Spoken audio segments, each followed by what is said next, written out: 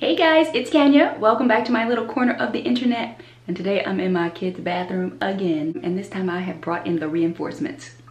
Check this out. It's one of those powered brush things you attach to your drill. Oh, I cannot wait to use this on their disgusting bathtub. Look at this. I mean, ew, ew. The whole, the whole thing is just disgusting. Oh, look at that. That's the corner. Check out the corner. So we're about to see what this brush can do. So first off, I'm just gonna spray everything down with some 409. Our shower does not detach, so I can't really rinse it easily, so I just use this big old Dickey's barbecue cup. All right, here we go.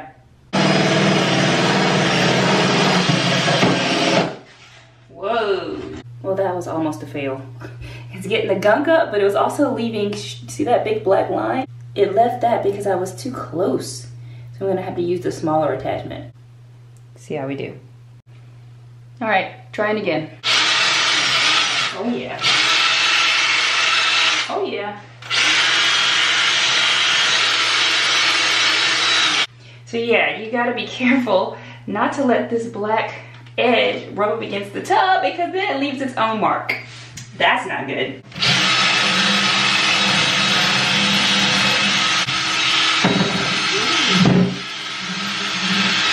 That's working. We have already got progress. So that was the nasty corner, but I got these black marks that I gotta deal with now. So yeah, don't let the sides touch your tub. Now I'm gonna grab my trusty Comet, sprinkle that in.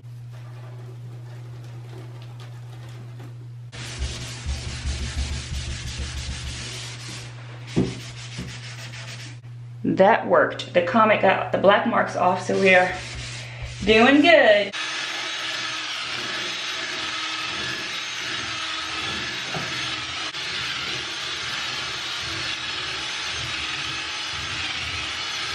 This is way easier than scrubbing. All right, moving on to this section.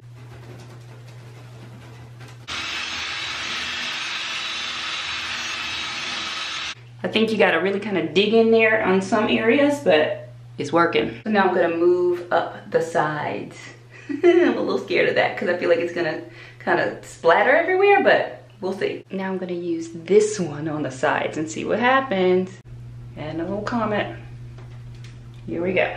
For all this icky gunk around the edge, I'm just gonna use this old cleaning toothbrush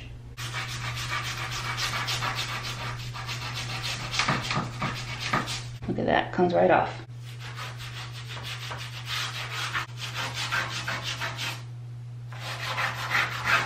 I'm gonna try to really gently use this steel wool on all these water spots here. I do not want to mess up the finish, so I'm not going too crazy.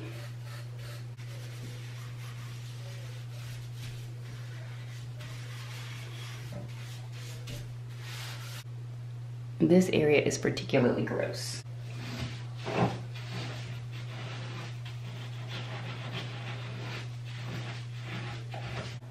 Wow. It is definitely better. Ta-da! It is so much better. The entire thing is looking good now. These attachments really make quick work of all the really gross stuff. Get you one. it is awesome. I will say that along the sides of the tub, I used just a regular flat scrubby thing because it was just easier along the sides. The drill was really good for the flat bottom. Sides a little trickier. But if my sides were as bad as the bottom, I would figure it out and use the drill. Well, that's all for now, my friends. I hope you enjoyed this video. If you did, give it a thumbs up, consider subscribing to this channel, and check out the other things I've been cleaning around my house, and come back and see what else I'm up to around here in my little corner of the internet. I'll see you in my next video. Bye!